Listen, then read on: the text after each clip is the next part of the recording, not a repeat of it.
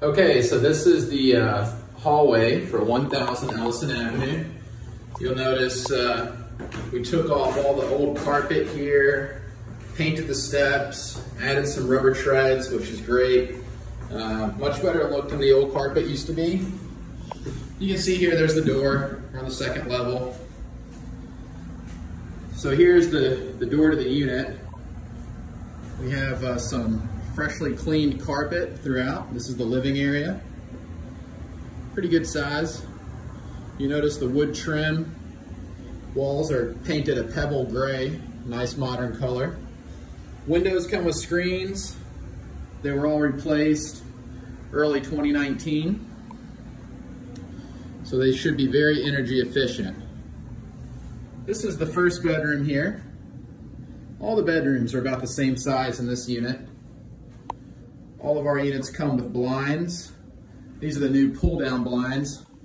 You can see here, makes it real easy to open and close. Full size closet in this bedroom, definitely big enough uh, for your shirts and shoes, pants, etc.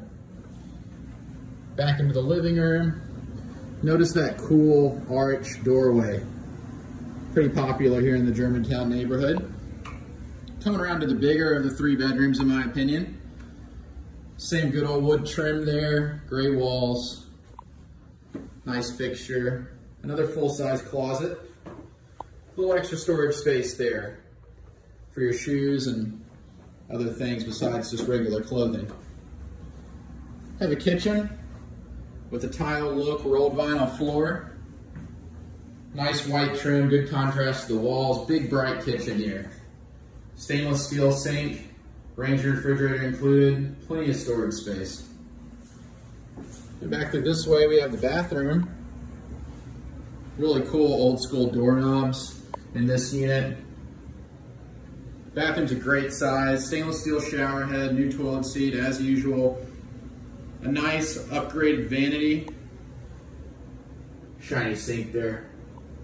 Nice bathroom, GFI outlet on the side there coming around.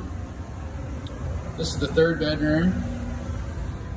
Love the fact that this unit has tons of windows. It makes a huge difference in the feeling of the space.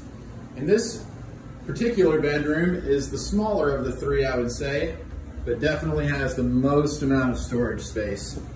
So this is 1000 Ellison Avenue, Unit 2F. The rent right now is 1095 three bedroom, one bath in Germantown.